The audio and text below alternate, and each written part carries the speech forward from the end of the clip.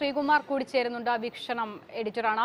ശ്രീകുമാർ ഇപ്പോൾ ഏറ്റവും ഒടുവിൽ ലഭ്യമാകുന്ന വിവരങ്ങൾ അനുസരിച്ച് ഇന്നിപ്പോൾ വൈകുന്നേരം നാല് മണിയോടുകൂടി കെ പി സി സി അധ്യക്ഷൻ നടത്താൻ തീരുമാനിച്ചിരുന്ന വാർത്താ സമ്മേളനം ഈ സ്ഥാനാർത്ഥിത്വത്തിൽ സമവായമാകാത്തതിനെ തുടർന്ന് നിർത്തിവെക്കുകയാണ്. നിർത്തിവെക്കുന്ന സാഹചര്യം ഉണ്ടാകുന്നു ഈ നാമനിർദ്ദേശ പത്രിക സമർപ്പിക്കാനുള്ള സമയം ഏതാണ്ട് അവസാനിക്കവേ. എന്താണ് കോൺഗ്രസിൽ സംഭവിക്കുന്നത്? എന്താണ് ഇതിനുള്ളിലെ തർക്കം? കോൺഗ്രസിന്റെ രാജ്യസഭാ സ്ഥാനാർത്ഥി എന്തായാലും ഉണ്ടാകും. അതിൽ യാതൊരു തർക്കവുമില്ല. കാരണം മത്സരിക്കാതെ നിവർത്തിയില്ലല്ലോ കോൺഗ്രസിന്റെ ഈ പഴയ സ്വഭാവം അനുസരിച്ചിട്ട് അവസാനമേ സ്ഥാനാർത്ഥിയെ നിശ്ചയിക്കുള്ളൂ. അതുവരെ ഒരുപാട് പേര് സ്ഥാനാർത്ഥികളായിട്ട് രംഗത്ത് വരും. അപ്പൊ നിങ്ങൾ ഈ പറയുന്ന കാര്യങ്ങളെ ഈ ചർച്ചകളൊന്നും നിർത്തിവെച്ചിട്ടില്ല. കാരണം ചർച്ച നിർത്തിവെക്കാൻ പറ്റില്ലല്ലോ. അത് ചർച്ചകൾ കഴിഞ്ഞിരിക്കുന്നു. ഓൾറെഡി ചർച്ചയൊക്കെ കഴിഞ്ഞ മൂന്നാൽ പേരുകൾ ഹൈക്കമാൻഡിന്റെ പരിഗണനയിലുണ്ട്.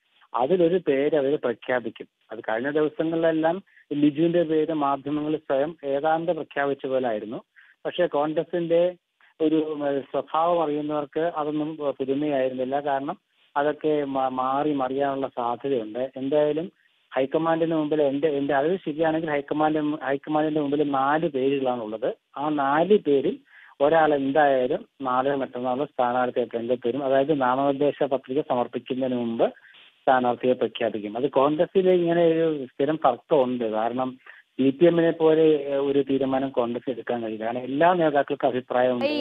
കോൺഗ്രസ് ഇങ്ങനെ സുധാകരന്റെ ഒക്കെ നേതൃത്വത്തിൽ ഒരു സമീകേടർ സംവിധാനത്തിലേക്കൊക്കെ പോകുന്ന ഒരു ഘട്ടം കൂടിയാണല്ലോ. അപ്പോൾ അവിടെ പോലും ഒരു രാജ്യസഭാ സീറ്റിനെ ചൊല്ലി ഇത്രമാത്രം തർക്കങ്ങൾ ഹൈക്കമാൻഡിന്റെ അഭിപ്രായം ഒന്നോ കെ പി സി സിയുടെ അഭിപ്രായം ഒന്നോ ജി ട്വന്റി ത്രീ എന്ന പേരിൽ മറ്റൊരു വിഭാഗം കോൺഗ്രസിലെ തന്നെ യുവനിര നേതാക്കൾ മറ്റൊരു അഭിപ്രായം ഉയർത്തുന്നു. അപ്പോൾ ഈ ഘട്ടത്തിൽ പോലും ഒരു സമവായത്തിലേക്ക് എത്താൻ സാധിക്കുന്നില്ല എന്ന് പറയുമ്പോൾ ഈ കേഡർ എന്ന സ്വപ്നമൊക്കെ കിനാശ്ശേരിയായി മാറും.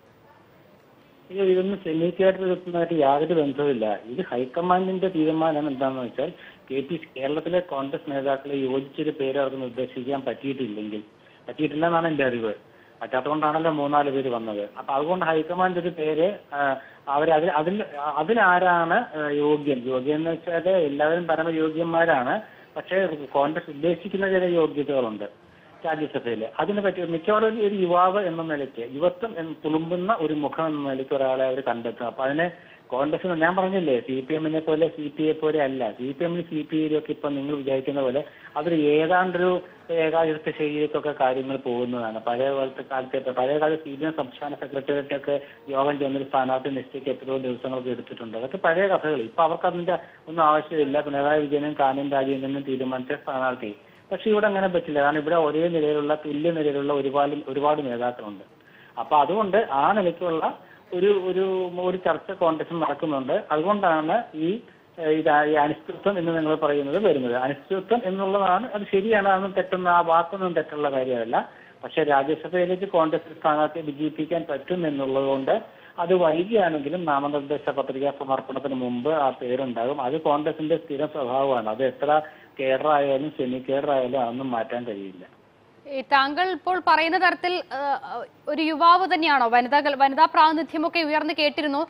പക്ഷേ ഒരു യുവാവിന്റെ പേരിലേക്ക് ഒരു യുവാവിനെ അയക്കാമെന്ന തീരുമാനത്തിലേക്ക് കോൺഗ്രസ് എത്തുമെന്ന സൂചനയാണോ ഇപ്പോൾ താങ്കൾക്ക് ലഭ്യമാക്കുന്നത് തീർച്ചയായിട്ടും ഒരു യുവത്വമുള്ള നേതാവ് യുവാവ് നിങ്ങൾ ഉദ്ദേശിക്കുന്ന യൂത്ത് കോൺഗ്രസ് കെ എസ് മുഖമല്ല ഒരു യുവത്വം. യുവത്വം വെച്ചാൽ അറിയാമല്ലോ ഇക്കാലത്തെ യുവത്വ യുവത്വത്തിന്റെ യുവത്വത്തിന്റെ പ്രായമൊക്കെ നമുക്ക് അറിയാവുന്ന കാര്യമാണല്ലോ. പഴയ കാലത്ത് തന്നെ ചന്ദ്രശേഖര പോലെ എസ് ചന്ദ്രശേഖരെ പോലുള്ള ആളുകൾ അറുപത് വയസ്സിലും ടർക്ക് യുവ തുർക്കി എന്നറിയപ്പെട്ടിരുന്ന കാലം ഉണ്ടായിരുന്നു ഇരുപതുകളിലും എൺപതുകളിലും. അപ്പൊ ഇപ്പോഴും ഒരു അമ്പതും അറുപതും ഒക്കെ യുവ തുർക്കികൾ തന്നെയാണ്. ആ ഒരു ആ ഒരു ഇതാണ് ഞാൻ ഉദ്ദേശിച്ചത്. അല്ലാണ്ട് ഒരു യൂത്ത് കോൺഗ്രസ്സുകാരൻ എന്ന രീതിയിലല്ല. ഒരു യുവ മുഖം എന്ന് പറഞ്ഞാൽ യുവത്വം തുളുമ്പുന്ന മുഖം. എന്ന് വെച്ചാൽ സാധാരണഗതിയിൽ ഇത് വളരെ പ്രായമായവരാണ് രാജ്യസഭയിലേക്ക് അയക്കുക. അതിൽ നിന്നും വ്യത്യസ്തമായിട്ട് സി പി എമ്മും സി പി ഐയും കാണിച്ചത്. സി പി ഐ രൂപ മുഖമാണെങ്കിൽ അദ്ദേഹത്തിന് പത്ത് അമ്പത്തിരണ്ട് വയസ്സുണ്ടല്ലോ. അത് നിങ്ങൾക്കറിയാമല്ലോ. അതുകൊണ്ട് അതേ പ്രായത്തിലുള്ളവരൊക്കെ തന്നെയായിരിക്കും കോൺഗ്രസിന്റെ സ്ഥാനാർത്ഥി എന്നാണ് ഇതുവരെയുള്ള വിശ്വാസം. നിങ്ങളൊരു കാര്യം മനസ്സിലാക്കുക. കെ പി സി കോൺഗ്രസിന്റെ തീരുമാനം ഏത് നിമിഷവും മാറാം.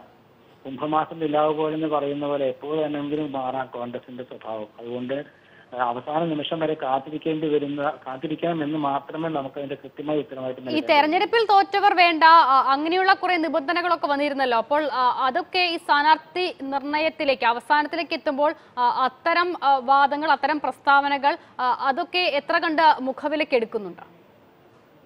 അല്ല തെരഞ്ഞെടുപ്പിൽ തോറ്റവർ വേണ്ട എന്ന് ആരെങ്കിലും പറയുന്നുണ്ടെങ്കിൽ അതിന്റെ അർത്ഥം അവരെ ഒഴിവാക്കാൻ വേണ്ടിയുള്ള സൂത്രങ്ങൾ മാത്രം കണക്കാക്കിയാൽ മതി. ഒരു തെരഞ്ഞെടുപ്പ് എന്ന് വെച്ചാൽ അയാളുടെ വ്യക്തിപരമായ തോൽവിയായിട്ടൊന്നും കാണാൻ പറ്റില്ലല്ലോ. യു ഡി എഫ് തോൽക്കുമ്പോൾ അദ്ദേഹം തോറ്റു. എന്നല്ലാതെ ഒരാൾ തോറ്റു എന്ന് പറഞ്ഞുകൊണ്ട് ആ ആൾ എന്താ പറയാ ജനബന്ധമില്ലാത്ത ആളെ അങ്ങനൊന്നും കരുതാൻ പറ്റി പറയാൻ പറ്റില്ല.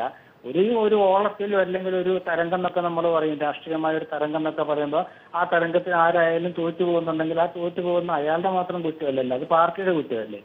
അപ്പൊ അത് അങ്ങനെ പറയുന്നുണ്ടെങ്കിൽ അത് ആ ആളെ അല്ലെങ്കിൽ ആരെങ്കിലും ഒഴിവാക്കാൻ ഉദ്ദേശിക്കുന്നെങ്കിൽ ഇങ്ങനെ ഇങ്ങനെ ഒരു ഒരു മാനദണ്ഡം കൊണ്ടുവന്നാൽ ഒഴിവാക്കാൻ പറ്റുമല്ലോ? അതായിരിക്കും ഉദ്ദേശിക്കുന്നത്. എന്തായാലും ഒരു കാര്യം വ്യക്തമാണ്. കേരളത്തിലെ കോൺഗ്രസ് പ്രവർത്തകർക്ക് അനുയോജ്യനായ സ്ഥാനാർത്ഥിയെ കെ പി സി സി നിശ്ചയിക്കും. അതല്ല എന്നുണ്ടെങ്കിൽ കെ പി സി സി നമ്മൾ വിചാരിക്കുന്ന പോലെ എല്ലാ പ്രവർത്തകരുടെ മാനസികമായ എതിർപ്പ് അവർക്ക് നേരിടേണ്ടി വരും. ഞാൻ സംശയമില്ലാത്ത കാര്യമാണ്.